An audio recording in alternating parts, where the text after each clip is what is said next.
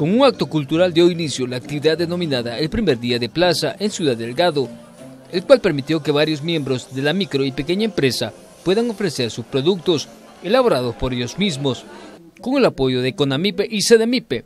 Al evento se hicieron presentes autoridades de la alcaldía, como representantes del gobierno y de USAID, entre otros. El objetivo es poder visibilizar la actividad económica en este municipio. Están participando 115 iniciativas económicas, ustedes pueden ver, a nivel de la micro y pequeña empresa de esta localidad y 40 emprendimientos.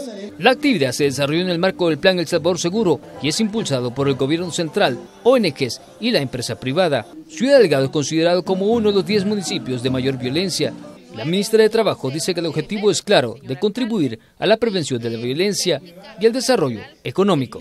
Contribuyendo al desarrollo económico local de este municipio, pero por supuesto también contribuyendo a la prevención de la violencia. El Ministerio de Trabajo está hoy ofreciendo 100 becas para 100 jóvenes que eh, le estamos denominando formación para el empleo.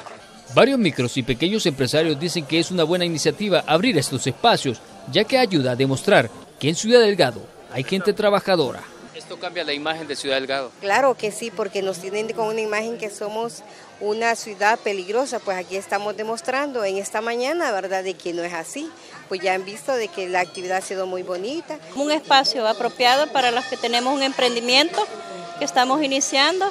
Eh, yo soy parte de, con AMIPA, Empresarialidad Femenina, y me inicié. Ellos me han capacitado, me han orientado en la ventanilla eh, de Ciudad Mujer y ellos nos han enseñado cómo, cómo ir como avanzando. Con esta iniciativa se espera dar a conocer el proyecto del Corredor Económico de Ciudad Delgado, floreciendo, dinamizando la actividad económica del municipio.